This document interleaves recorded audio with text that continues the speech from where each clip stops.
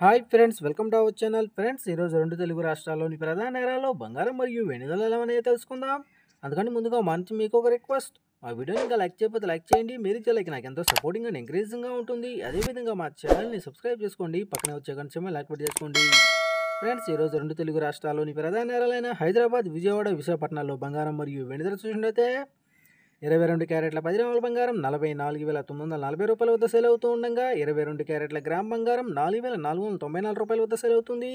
అదేవిధంగా ఇరవై నాలుగు క్యారెట్ల పది గ్రాముల బంగారం నలభై తొమ్మిది వేల యాభై రూపాయల వద్ద సేల్ అవుతూ ఉండగా ఇరవై నాలుగు క్యారెట్ల గ్రామ్ బంగారం నాలుగు వేల తొమ్మిది వందల ఐదు రూపాయల వద్ద సేల్ అవుతుంది. అలాగే ఒక కేజీ వెండి అరవై నాలుగు వేల ఎనిమిది వందల రూపాయల వద్ద సేల్ అవుతూ ఉండగా గ్రాము వెండి అరవై నాలుగు రూపాయల ఎనభై పైసల వద్ద సేల్ అవుతూ ఉంది